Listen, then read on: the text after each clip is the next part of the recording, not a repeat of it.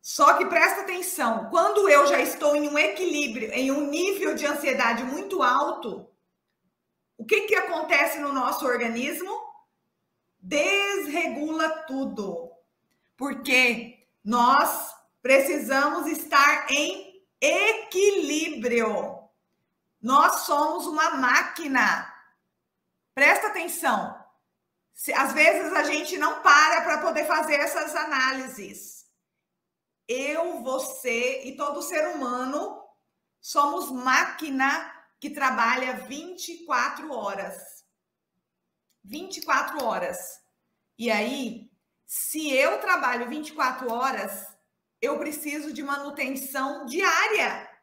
O que que é a manutenção? O que que é a manutenção diária? Dormir bem, comer bem, mas comer bem, gente, não é comer muito. A comida, ela precisa ser o, você já encheu um tanque de um, de um carro, do um motor, com muito óleo aí, com muito, muita coisa, ele vai embora, vai, vai, né, vai extrapolar. Aí, ó, a Fabi tá falando, já foi comprovado por estudos que em oração a pessoa libera ocitocina. Isso melhora a ansiedade.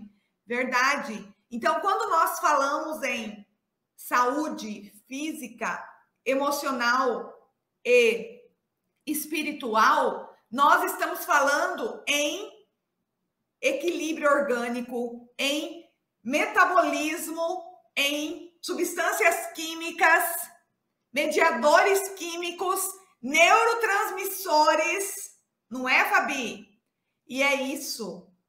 Quando quando a gente fala para o paciente, você precisa dormir, ter um sono reparador.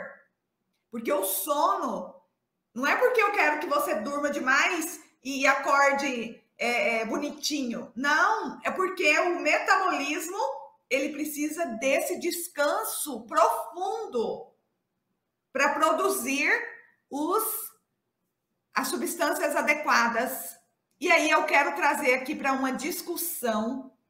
Nós temos vários hormônios, vários hormônios, vários neurotransmissores, várias, vários mediadores químicos que desregula o nosso metabolismo. E aí nós vamos ter o nível de inflamação que nós quisermos. Gente, parece que é brincadeira, mas às vezes as pessoas querem, elas querem estar doentes.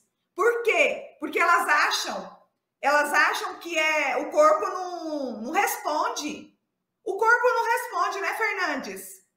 E, e responde muito, muito.